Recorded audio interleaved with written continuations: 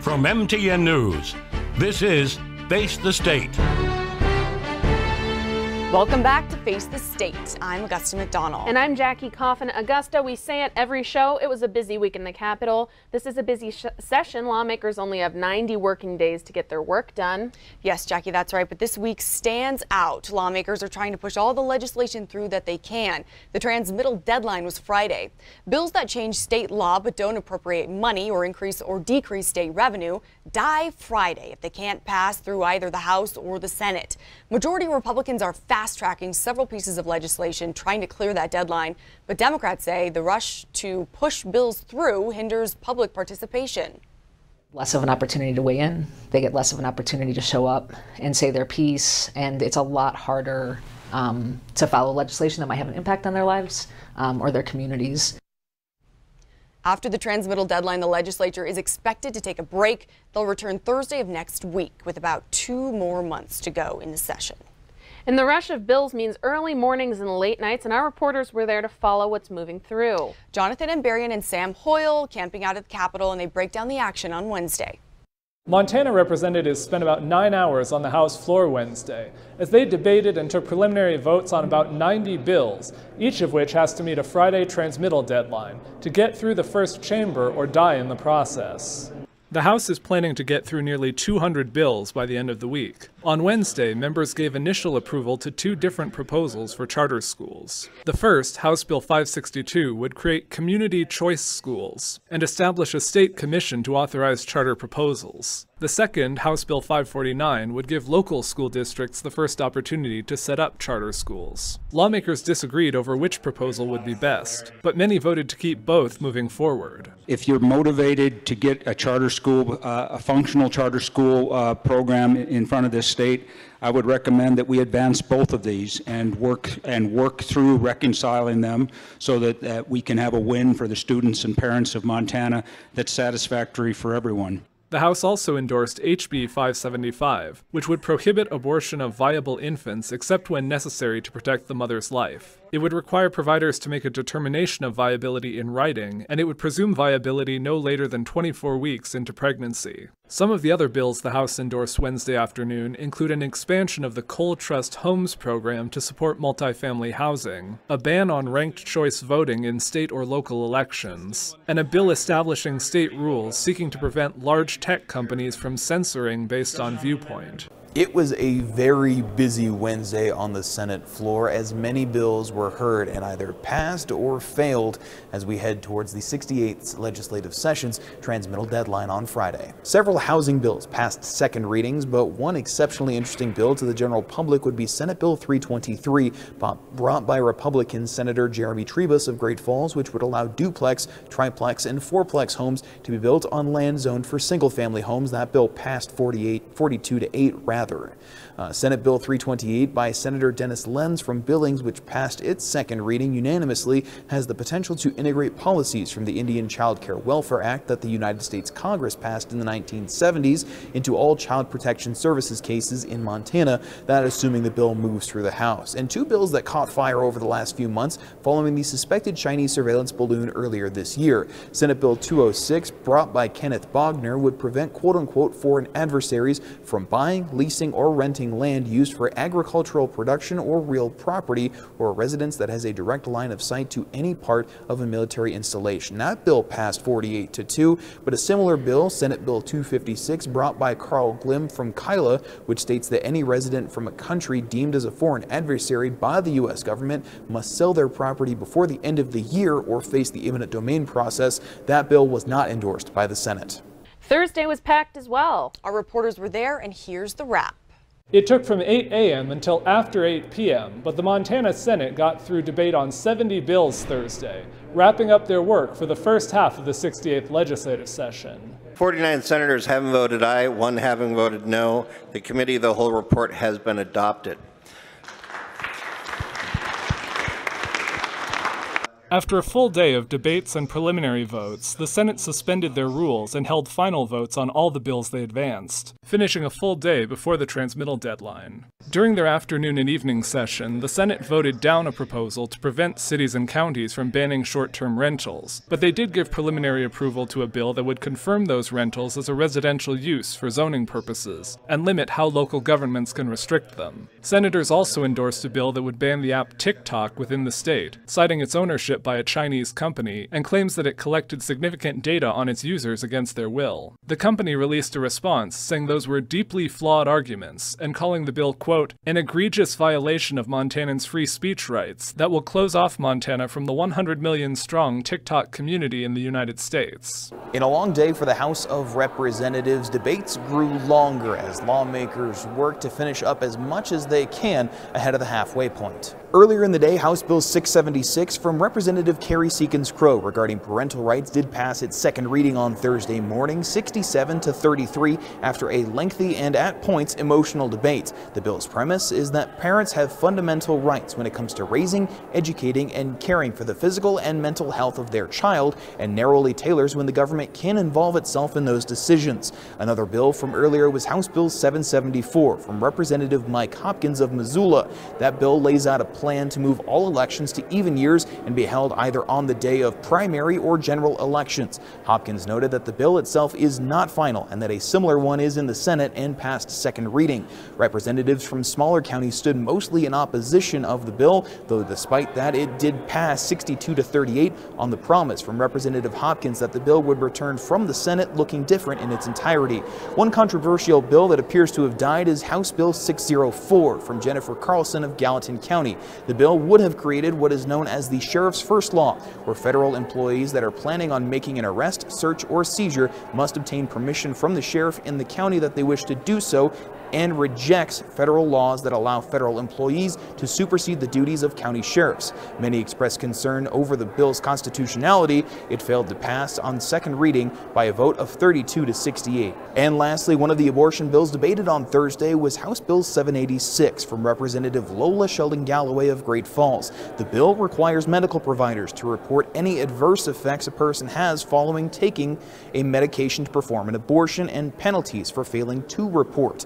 That bill did make it through to a third reading, 65 to 35. Making it ahead of the transmittal deadlines are some controversial bills, including two bills to designed to tighten regulations on abortion in Montana, which is drawing emotional testimony from lawmakers on both sides of the debate. Monday, the House Judiciary Committee held a hearing on legislation prohibiting so-called dismemberment abortions. Supporters say the bill is not a full abortion ban, it only blocks one procedure. But opponents argue the words dismemberment abortions are inflammatory and that the bill the ban targets the safest and most common form of abortion. This bill would allow politicians to stand in the way of a person's decision and a doctor's recommendation. A person's health, not politics, should guide important medical decisions during pregnancy. This does not stop a woman from obtaining an abortion. As I just stated, there are multiple ways still available. Please don't be distracted by any of the opposition's what if or people's unadjudicated opinions as the one stated here in the legal note. Also under consideration in the House, a bill that would require healthcare providers to perform life-saving care on infants born alive, including after an abortion. opponents of this say it's unnecessary and already part of law. Thanks, Jackie. And beating the transmittal deadline and making its way through the state Senate now is a bill prohibiting children from attending drag shows. House Bill 359 passed through the House last week. All but one Republican representative voted for the bill. All the Democrats were against it. The legislation would prohibit a business from admitting anybody under the age of 18 while hosting drag performances and ban drag shows on public property that would affect events like Pride. And coming up, Governor Greg Gianforte makes the case for disaster resiliency funding while Senator Steve Daines tries to ban Brazilian beef. And right after the break, I take a closer look at bills targeting some specific types of housing as Face the State continues. Welcome back to Face the State. Welcome back to Face the State. Passing from the House to the Senate with almost unanimous support is a bill out of Billings, adding accountability to pandemic era housing funds as they're set to expire. House Bill 523 would require the Department of Commerce to disclose what businesses, property management companies, and landlords received funding from the Montana Emergency Rental Assistance Program, which allocated more than $100 million of federal funding given to the state through the American Rescue Plan Act of 2021. The bill brought by Representative Mike Yakawich, a Republican from Billings, passed the House earlier this week. I wish to just say that this bill is to look at the funding, who benefited from it, who received it, and that they agreed uh, as the fund ends that they will give us a financial report. The hearings for House Bill 523 were short and sweet, but the problem it addresses is huge. So big that some city leaders in Billings say it's the largest crisis the city will face this year. The Econo Lodge is one of the motels that accepts MURA funding, and for many months it was at the rate of $2,200 a month. On one of the coldest days of winter, Mervyn Lewis is leaving the place he's called home. You got to do your own your own cleaning and all that. You know, they're not too punctual on housekeeping for bedding and towels. Lewis has been living at the Econo Lodge in Billings. He normally works as a commercial truck driver, but medical problems put him out of work. I've been here for about a month, over a month and a half. It's not up to par on what I expected for a room. Paying for long stay housing at the Econo Lodge was possible thanks to funds from the Montana Emergency Rental Assistance Program, or MURA, which pays hotels to house people three months at a time. So essentially, what they did is they said, if you cannot find housing because there's no housing available, if you've exhausted all of your housing options, we will allow you to stay in a motel. People got wind of that. The pool of emergency housing money comes from the American Rescue Plan, a stimulus bill passed by Congress during COVID 19. Montana received $183 million, which was given to the Montana Department of Commerce to distribute. And that's where the problem began and they didn't spend it fast enough initially. So the federal government took some of that funding back and told them you need to spend the rest of this or we're going to take it back also. And things snowballed from there. To spend the money, the agency began providing the funds to hotels willing to house people for up to 18 months without many parameters. And some hotels began to misuse the money. So we're talking about $6,600 for a three month period. And sometimes folks wouldn't stay in the motels for the three months. Sometimes it would be because the motel might kick them out early. Sometimes it might be that they leave. Uh, but those motels were required to give that money back to the state to be dispersed back out to others who needed it. And that did not happen. Now, funds have been cut off, and the program is set to end in late March. That means an estimated 1,600 people currently in Billings hotels could be without a place to stay people like Mervyn Lewis. People need a place to live. But that place may be hard to find. But there's no silver bullet here. A blow to some mobile home park residents after a pair of bills expanding their rights and park decisions fail in front of Montana lawmakers. For one mobile home park, it is the latest in a series of challenges ranging from black water to rate hikes. When you turn on the taps, Ron and Carla McCracken's water now runs clear. Smells like chlorine. But still, they won't drink it. Will you guys drink the water here? Nope. No. Water has been an issue for tenants at the Meadowlark Mobile Home Park for years. Frequent outages, discoloration, and sediment has oh, turned a lot of residents to bottled water. Yeah, that's pretty dirty. And Carla McCracken worries the water made her sick over the holidays. Over Thanksgiving, I got a um, E. coli infection in my kidney. And do you think that's from the water? Yes. The Utah based owners of Meadowlark Haven Park have been working to fix the water problem, blaming outdated well systems. The company provided a statement to MTN this week that the water issues were completely resolved six to seven weeks ago. But these photos show water from the tap of one park resident just this week, and residents say they are still under a boil order. The water problems get a lot of attention, but simmering beneath is anger over rent hikes. January 1st by $41. Residents say rates have been increased six times in the almost three years since Haven Park purchased the park. Cherry Creek out here, I think they've complained about it, and that's the same company. And they hoped lawmakers could fix the issue. Two bills introduced to the legislature this session would have prevented rate hikes like the ones at Meadowlark by offering residents leases. That's House Bill 428, carried by Representative Mike Yakawich of Billings how can we work with trailer court um, uh, clients, people who have those trailers, and give them, let's say, a one year lease?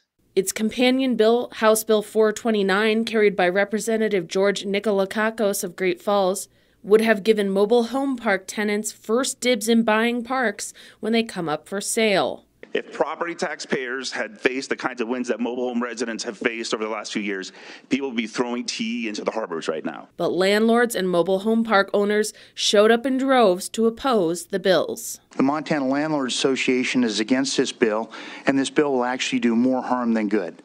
Government has no right to limit the private sale of private property. I question whether or not the tenants are the best option available. And both bills were tabled by the committee. With the legislature moving on and a bad taste left after years of water problems and rate hikes, residents at Meadowlark don't know what comes next. We've lived here for 30 years. We're retired now, and this was our plan to yeah. have our space to retire in. We shouldn't have to move because of them. No. Another bill up for consideration would place new regulations on sober living homes. If it passes, owners of these facilities would need a national certification before receiving any state funding.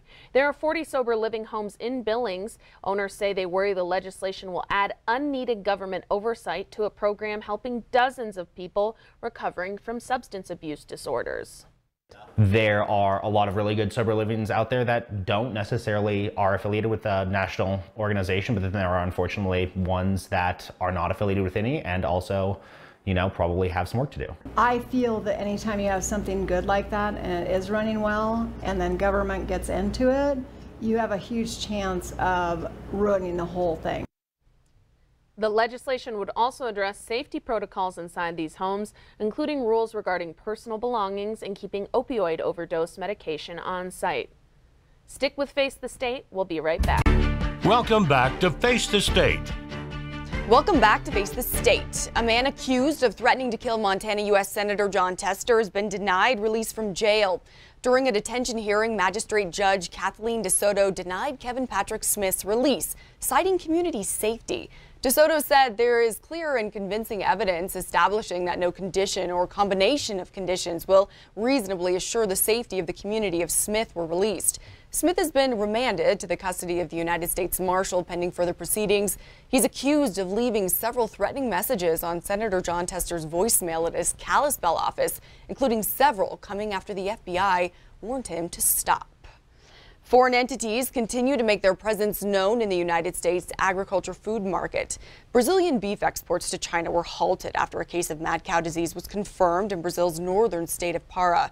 Concern of the South American beef giant reporting cases of BSE has prompted legislators to re-implement a bill that would halt Brazil's imports. Ryan Gamboa spoke with producers and industry leaders on how these findings affect Montana's cattle industry. In January of 2022, according to the USDA, Brazilian imports of beef were up 500%.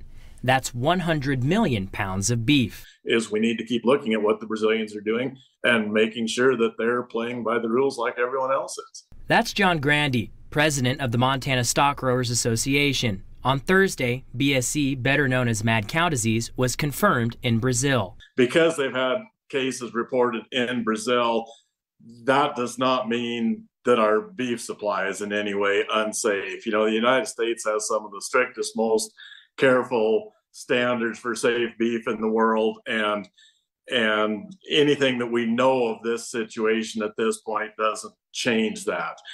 Despite the United States regulations on foreign beef, United States Senators Jon Tester and Mike Rounds reintroduced a bipartisan legislation to ban Brazilian beef imports. Senator Tester shared in a statement. In quote, as a third generation farmer, I have repeatedly demanded that America stop accepting beef from Brazil. Our ranchers here in Montana raise the best beef, and consumers can trust that it is safe. He went on to add that to block Brazilian beef imports until they can prove that their products meet our health and safety standards. While this isolated incident may not be a huge deal, whether they are following the rules and being a responsible player, that is a big deal because it could it could be very huge if one of these other things like foot and mouth were to crop up. Jan McDonald is a member of the Montana Cattlemen's Association and producer, and she says that the problem goes further. Educate the consumer as to the situation. If you're walking down the street and just talk to anybody and say, Do you know what you buy when you go to the grocery store? And they'll say they haven't got a clue.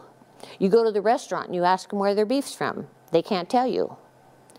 And we feel that people have the right to know. Jan and her husband run 1,200 acres of pasture land near Fairfield. In her eyes, Brazil is a threat to the entire cattle industry. And it's a proven fact that I don't know that there's another country that produces the quality of beef that the United States does. There's the, the future of agriculture is not, not real promising. Currently, no cases of BSE have been reported in the United States. Delaying reporting of cases is a cover of lenient food safety procedures, raising concerns of foot and mouth disease, African swine fever, and R-CALF USA. In Great Falls, Ryan Gamboa, MTN News. Montana Governor Greg Gianforte unveiled an ambitious plan this week to fix a canal that's caused all kinds of damage to homes here in the Magic City. But the plan isn't cheap. It would cost an estimated $25 million. But if the governor gets his way, this project and several others in Montana would be paid for through a new $100 million disaster resiliency fund. Alina Howder has a closer look at this proposal. This 120-year-old irrigation ditch known as the Billings Canal has a history of seepage and it's caused tons of damage for families living below. Some even fear that bigger problems could be coming if issues with this ditch aren't addressed now. These images from 2019 show cracked foundations and bowing walls, the aftermath of groundwater that seeped out of the Billings Canal into this house that sits right below the ditch. As the city grew up into our ditch, Unfortunately, there weren't any precautions taken for any of these disasters. That house is now one of several abandoned homes I discovered when I ventured into the neighborhood on Viewcrest Street, all left vacant because of those problems with the ditch, especially since the slope behind it is moving. The fact that the hill is sliding makes this canal even unstable. I understood from KC that we think that the the the ditch itself is moving downhill. And if the ditch was full of water, the impact could be catastrophic. That's roughly 260 million gallons of water that would be dumped into the neighborhood below, which puts us at, at significant risk of loss of life. That's why Governor Gianforte was in Billings Wednesday, hoping to urge the legislature to move forward with his proposal to establish a $100 million local disaster resiliency fund using budget surplus money to prevent emergencies. And here's the best part for every dollar the state puts in, the federals give it the the federal authorities give us match it with nine additional dollars. This slope failure project would cost an estimated $25 million, but several others across the state have also been identified. Everything from improving a levee in Glasgow to a power line project in the Flathead. Back here in Billings, this ditch is being closely monitored with sensors. Hopefully that will give us a, a heads up um, early enough to do something if we had a catastrophic failure, but we would know about it sooner. At least. But a long term solution is needed. Seven of these homeowners sued the Billings Benchwater Association, asking the association to take responsibility, saying their homes are no longer livable. I really hope this legislation goes through because it can provide the match fundings that we need to do a big project. In Billings, Alina Howder, MTN News. Thank you, Alina. We're back after the break to take a look at the week ahead as Face the State continues. Welcome back to Face the State. Welcome back. And joining us now, MTN senior political reporter Jonathan Ambarian with a look at what we can expect this week. Jonathan, what did this transmittal week look like? You guys spent a lot of time at the Capitol. Well, yeah, I mean, it was a busy, busy, busy week at the Capitol. Transmittal deadline when all these bills have to get across uh, their first chamber or they die. So we heard, you know, some probably o- over a couple hundred of them between the House and Senate. Uh, I was in there, uh, and Sam Hoyle from our station here in Helena was up up there, uh, you know, 10, 12 hours uh, on the floor. So, yeah, it's it's a lot of, a lot going on, but the chambers are on break now. They're going to be out all almost all of next week. The Senate is going to come back for just a what they call a pro forma session, a very short session with no real business on Thursday, and so it won't be until Friday that any uh, real work starts up here again. And um, so, so just explain for anybody who doesn't fully understand what a transmittal deadline is. What does this uh, date mean in terms of the legislature? Well, it, first of all, it's the halfway point. It's, we're 45 days into what is the 90-day session that we do every two years, and the transmittal is just a, it's a deadline, and a, any bill that doesn't appropriate money or raise or lower state revenue, uh, in order to keep things moving, they want all those bills if a bill doesn't pass through either the House or Senate by the transmittal date, the 45th day, then it dies. It won't be able to move forward. And so what we saw here was just a winnowing of all the proposals that came in, and now only a few, I shouldn't say a few of them, still hundreds of them are still going forward into the other house, but it, it narrows down a lot. Uh, there are going to be a lot fewer bills going forward, but of course, they're going to be uh, bigger bills. We're going to be talking a lot about budget and thing like that in the second half. So it's a different um, it's a different feel. The transmittal point is is the halfway point, and it's definitely sort of a transition point in how the legislature is working.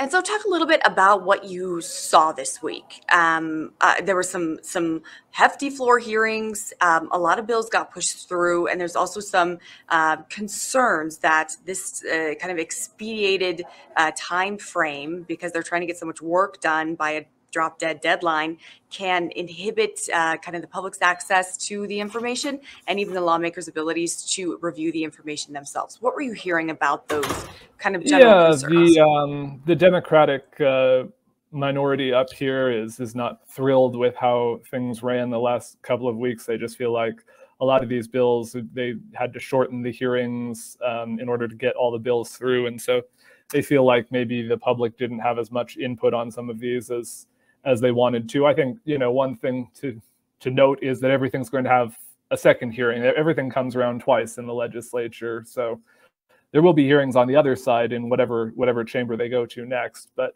uh, yeah, certainly uh, uh, it was something that we heard. Uh, as I say, the minority party was not really happy about. The majority is, is saying, well, these are the bills that come in, and every bill has to have a hearing. That's in the rules, and so if, if we're going to give them all a hearing, then with have to do what we can. And so uh, the Republican leadership has said, uh, yeah, they're, they're, trying trying their best. Everybody's trying their best. They started uh, sort of these rush, uh, I shouldn't say rush, but the sort of expediting processes earlier in the years than, than I remember them doing it in the past. I mean, they were starting last week to try and move things through. So, yeah.